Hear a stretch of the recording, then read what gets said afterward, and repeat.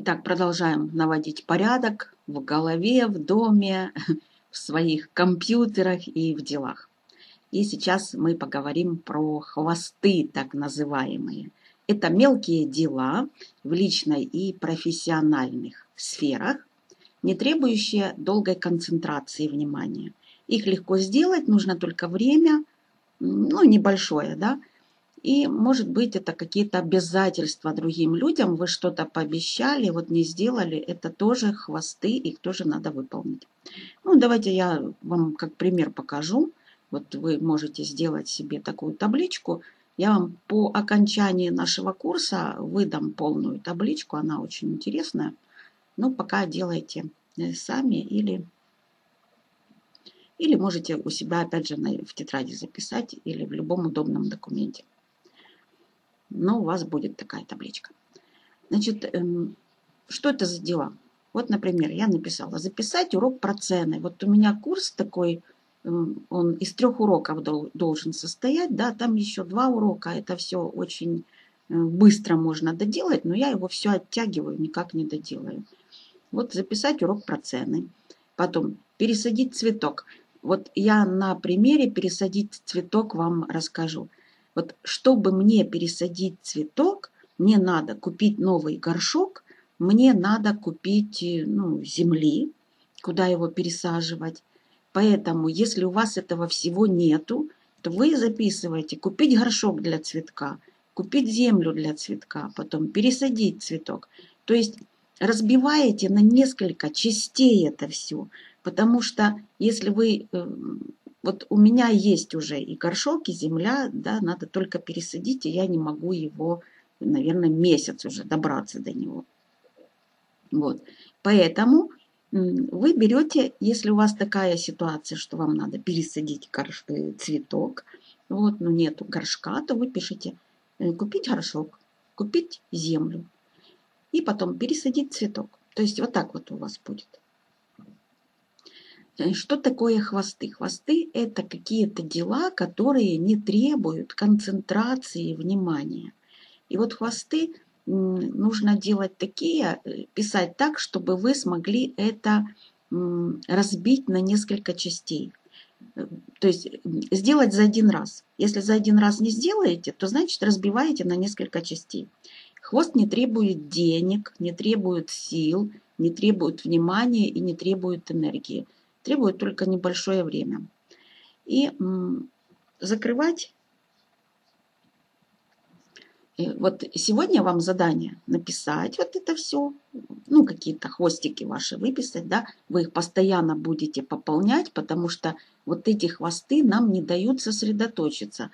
Вы как бы начинаете свой рабочий день и думаешь, и то ли это сделать, то ли вот это, и вот это надо, и еще что-то надо. Вот нам это все мешает.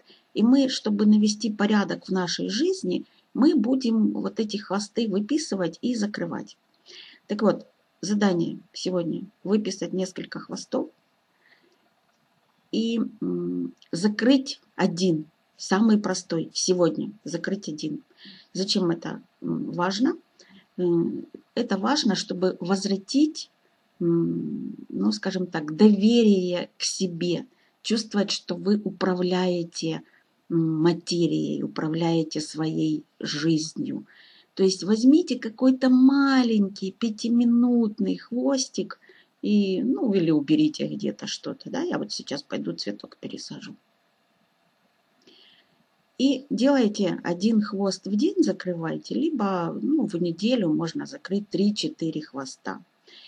И еще ну, постоянно добавляйте. Вы потом будете вспоминать. Я знаю, что люди, которые работают в интернете, да и не только в интернете, у них вот полно вот таких вот незакрытых дел, просто полно, просто очень много. И, эм, давайте я еще покажу, как с этой табличкой работать. Вот здесь, где примечание, вы ставите расстановка э, приоритетов. Вот расстановка приоритетов. Ставите по шкале, если, допустим, один, ну, давайте я вам кое-что хочу показать, поэтому я один сюда поставлю. Вот, один Это первостепенно важно, прям надо сделать в ближайшую неделю, две, это очень важно.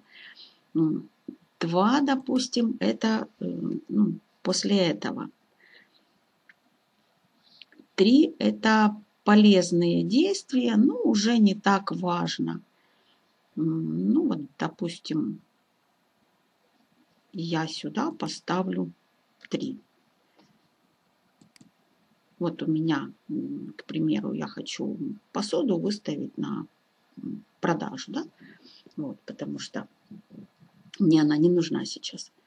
И потом, к примеру, 4 по приоритету. Это просто идеи, до которых, может быть, дело не дойдет, но хотелось бы, ну, вдруг, вдруг созреет, да, вдруг вы начнете с ними работать. То есть вот так выставляйте то, что не очень важно. И старайтесь работать с этой табличкой, ну, хотя бы там пару раз в неделю, хоть раз в неделю. Добавляйте, заполняйте по мере там каких-то новых идей, новых задач. Вот. И э, давайте вот так вот сделаем. Я поставлю, допустим, сюда вот тоже один. Ну, это как пример. Теперь что мы делаем? Вот мы поставили вот таким образом наши приоритеты. Так, и теперь, подождите. Вот если вы в табличке делаете, то нажимаете вот сюда, где буквочка А, правой кнопкой мышки, и сортировать от А до Я. И вот вы видите, что они 1, 2, 1, 1, 2, 3, да? Все, я посортировала их от А до Я, и сейчас иду и что-то делаю. Здесь, например, вы можете... Здесь мы пишем время. Если у вас вот так тоже получилось, можно сдвинуть табличку. Здесь мы пишем время. Вот, допустим, сфотографировать посуду. Это у меня занимает 10 минут. Пускай, да и выставить на продажу, это у меня занимает там, ну, еще 20 минут, потому что надо объявление написать. Здесь, где комментарии, вы можете какие-то ссылки, какие-то заметки писать. Ну, например, я напишу OLX. Да? Вот. То есть я знаю, куда я хочу его выставить. Может, еще куда-то. Ну вот все. И вот таким образом вы берете, и каждый день хорошо бы было по одному делать, хвосту закрывать. Но как минимум три хвоста в неделю надо закрывать. Если у вас очень много приоритетов, вот так один, один, один, один, один, значит пересмотрите, потому что это ну, неправильно, так быть не должно. Вы все сразу не сделаете, все равно из этих 1, 1, 1 выберите действительно один, остальное нажмите 2.